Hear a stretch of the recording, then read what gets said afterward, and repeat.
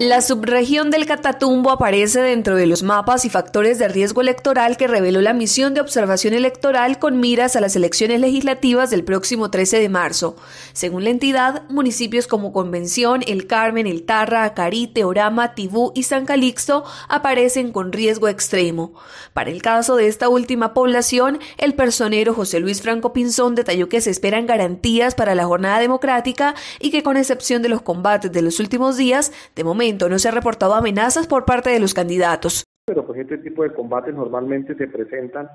en el municipio de San Calixto, no necesariamente cuando haya elecciones es que se presenta. Pues es un, es un municipio donde hay dos grupos armados organizados, como el ELN y eh, la FARC, EP, entonces pues normalmente estos grupos tienen el eh, control del territorio, de pronto el ejército eh, se encuentra de pronto avanzando hacia los puestos de votación para ya eh, este domingo 13 de febrero, de marzo, perdón, del presente año, pues eh, poder llegar a esos puntos de votación, poder prestar la seguridad y garantizarle, eh, garantizar este derecho del sufragio a los ciudadanos. Y... De momento el panorama es claro y se espera amplia participación de votantes para elegir congresistas y para el caso de municipios PEDET como San Calixto se elegirá el representante de víctimas del conflicto para las circunscripciones especiales de paz. Lo de las elecciones está pues está todo tranquilo,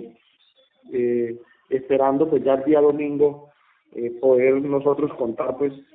con todas las herramientas para poder poderle brindar y garantizar este derecho a, los ciudadanos de San Calixto. Aunque por ahora existe relativa calma en San Calixto, la comunidad de la zona se mantiene en tensión por los últimos hechos de combates ante las elecciones presidenciales, situación que podría generar abstención en las urnas.